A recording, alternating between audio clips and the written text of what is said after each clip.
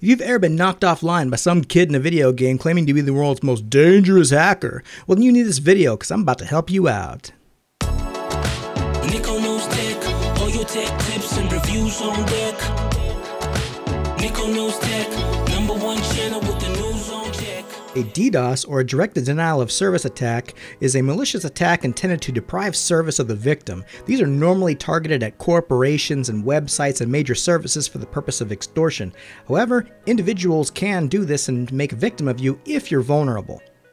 This video is sponsored by VIPCDKDeals.com, who I use for all of my licensing needs. Right now, you can get incredible deals on products such as Windows 10, Windows 11, Office, or even game titles. And if you use coupon code NK25 during this holiday season, you'll get an extra 35% off your purchase. That means you get a genuine license for Windows 10 Professional for just $13. Treat yourself this holiday season to the same prices that I get by following the link in description and use coupon code NK25 to get an incredible 35% off. Happy holidays.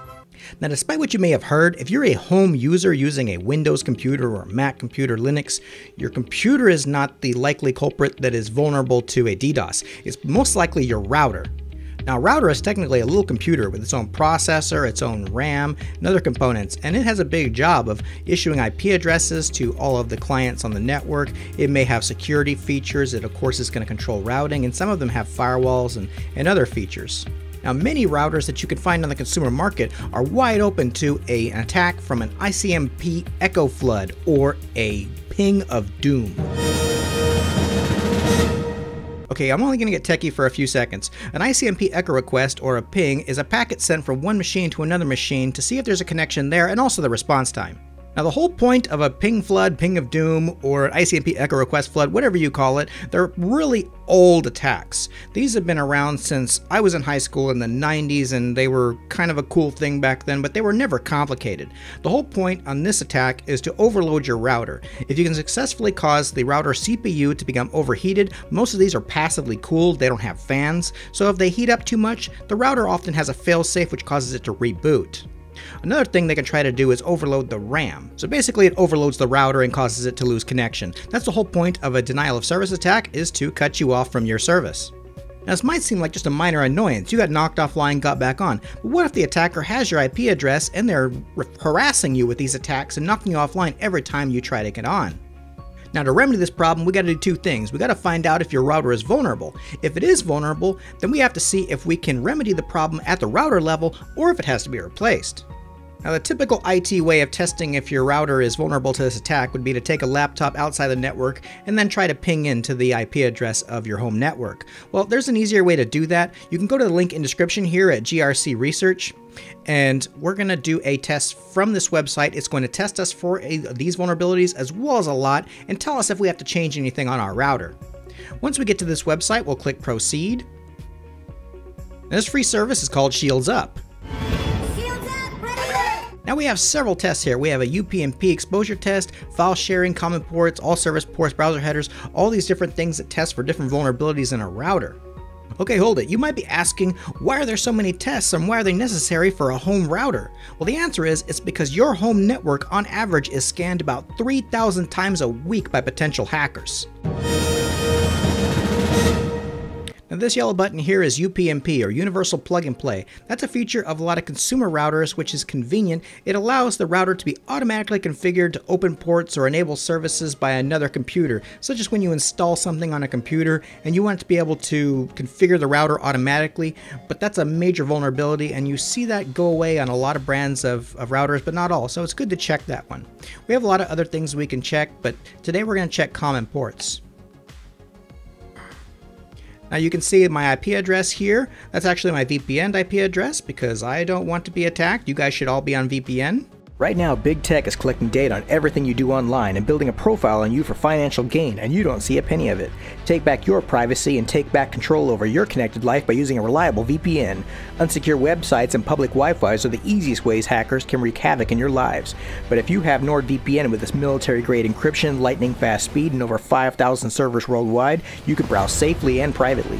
NordVPN also has state-of-the-art dedicated peer-to-peer servers to protect your usage from your ISP, as well as Big Brother and with with advanced obfuscation servers, you can access blocked websites or even streaming services such as Netflix, Hulu, and more anywhere in the world. NordVPN has a strict no logs policy and has never and will never be pressured by governments. Take back your privacy today and use my exclusive link in the description to get a huge discount on NordVPN. Stay safe. Okay, so on my results, I have a failure here. It says failed. The failure, we've passed unsolicited packets, TCP packets, but ping replied. This is what we were talking about, or an echo request. Your system replied to our ping or ICMP echo request, making it visible on the internet. So we can tell right now that this router is vulnerable. Now, if your router came up as passed, well, then you don't actually have to do anything. You're good. Congratulations. However, if you did come up with a failure and it's an ICMP echo request, then we're going to have to change that in your router if possible. Now I've included a couple of links on how to change this in your router, but it really varies based upon which router you have. You may have to do a Google search as to how to do this on your specific router. For example, you may be Google searching how to disable ICMP echo request Netgear routers. And so this will be the way you'll do it. But if you're going to do it on a firewall, there's some basic principles you can deploy. Now if you know your way around your router settings and you also know a thing about firewalls, then you'll be able to do this pretty easily. Go into your router settings, you might not have this router, but I'm going to go into my network settings and I'm going to go to the firewall section. Like I said, it'll vary depending on which router you have. And once I'm in the firewall, the part that we want to change is on the WAN in, and I know you typically don't mess with the WAN firewall settings, but you can if you do it this way. I'm going to create a new rule, and I'm going to label it drop ICMP echo. And we're doing this on the WAN. Doing on the LAN is really defeating the purpose. It could protect servers you have on the network, but we're trying to protect the router. And you have three options here as to what it's going to do. It could drop, reject, or accept these requests. We don't want to reject, even though that sounds like a good idea. Um, you don't want to advertise to anyone scanning your network or the person trying to DDoS you that the connection's there. The best defense is to not even be there according to scans. You want to stealth yourself. So we're going to drop this and we're going to select ICMP and we're going to have it any protocol.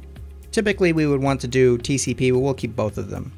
And it's going to be from any address group, so any IP address on the internet trying to send an ICMP through the WAN, we're going to drop it. And destination, we're going to do any address port group. So it's going to drop everything. Then we'll save it. And now I have drop ICMP echo. Now the reason that we selected drop instead of reject or accept was because obviously we don't want to accept the communication because it's already doing that. And we don't want to reject it because that sends a message to the attacker that, hey, I'm here, but I'm blocking this communication. That's just going to advertise to everyone else that you're there. Anyone scanning your network is going to see that you have an active connection and you don't want that because they're going to find some other vulnerability. It just takes a matter of time dropping is going to send a message back automatically that there's no connection there. Same thing if you try to communicate with a website that's no longer there. It's the same thing when the connection is dropped. So that's the way we're going to stealth this. Now, if you don't have firewall settings or anything that can be changed in this router, you may need to replace it if you're getting DDoSed. Now, if you do have these settings, but they're too complicated for you, you may want to call in a professional to do it for you, which would be a pretty easy fix, and if they are not ripping you off, it shouldn't cost too much. Congratulations on making it to the end of the video. I hope you found this tutorial helpful. If you like it, please click like and consider subscribing. You can also follow me on Twitter, Instagram, and I'll see you next time.